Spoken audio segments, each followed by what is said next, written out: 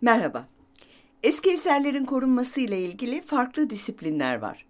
Bu disiplinler özellikle çeşitli malzeme ve bu malzemelerin ait olduğu dönemlere veya sanat eserlerinin geldiği yer üzerine yoğunlaşır. Resim, dekoratif sanatlar, fotoğraf. Benim bölümümde antik dönemden kalan eserler üzerinde çalışıyoruz. Tabii ki bunları sanat eseri olarak görebilirsiniz ama esasında bunlar arkeolojik buluntular. Bu da bizim üzerimize belli bir sorumluluk ve görev yüklüyor. Pek çok durumda o buluntunun taşıdığı kanıtı koruduğumuzdan emin olmamız gerekir.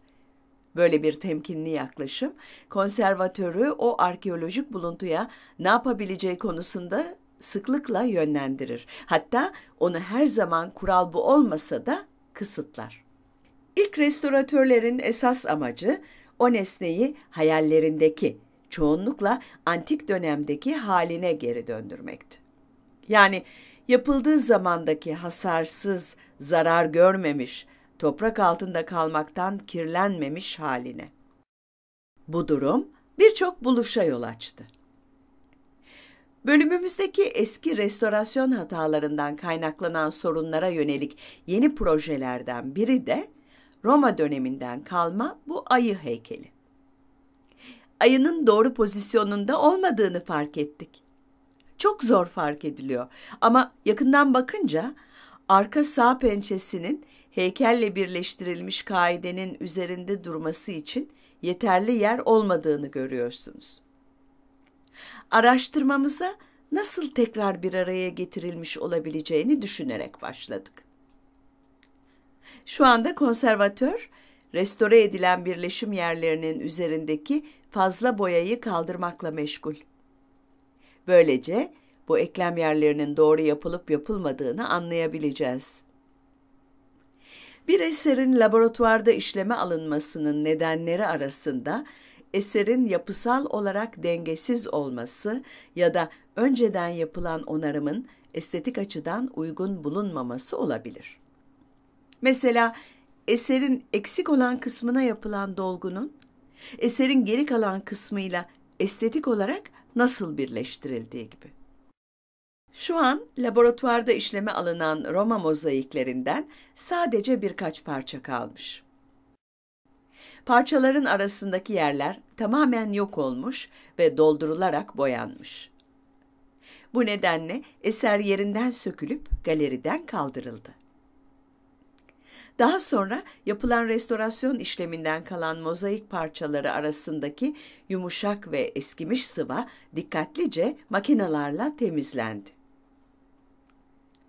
Bu temizlik işlemi bittiğinde antik dönemden kalan mozaikle modern dolgu arasındaki fark daha da artacak. Koleksiyondaki objelerin hepsi bize el değmemiş, hatta tek parça halinde bile gelmiyor. Özellikle de seramikler. Masanın üzerine yayılan seramik parçaları aslında oldukça büyük tek bir Yunan vazosuna ait. Seramik parçalarının üzerinde ve içinde nereye ait olduğuna dair birçok ipucu var.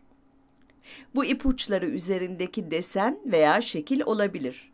Kalınlığı ya da rengi de olabilir. Hatta iç yüzeyinde bulunan vazoyu yapan zanaatkarların çarkından çıkan izler bile ipucu sayılabilir.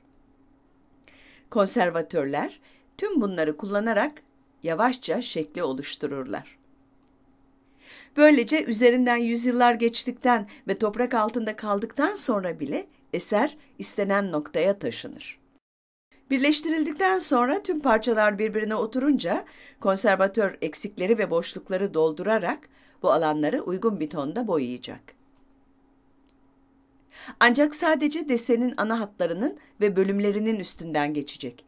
Vazonun üzerindeki çizimi yeniden yaratmayacak. Buradaki ana fikir aslında yaptığımız işin görülmesi, bakıldığında belli olması ve asla antik dönemden kalma malzemeyle karıştırılmasına izin verilmemesi. Bir eseri kazıdan daha yeni çıkmış gibi gösterirsek, onun hakkında dürüst olmayız. Yapmaya çalıştığımız şey, o eseri kendi geçmişindeki geri dönülemez bir değişimin meydana getirdiği en son haline getirmeye çalışmak. Bunu yapmanın en iyi yolu da onu o anda sabitlemek. Zamanda o noktada tutmak ve gelecek nesiller için onu korumaya çalışmak.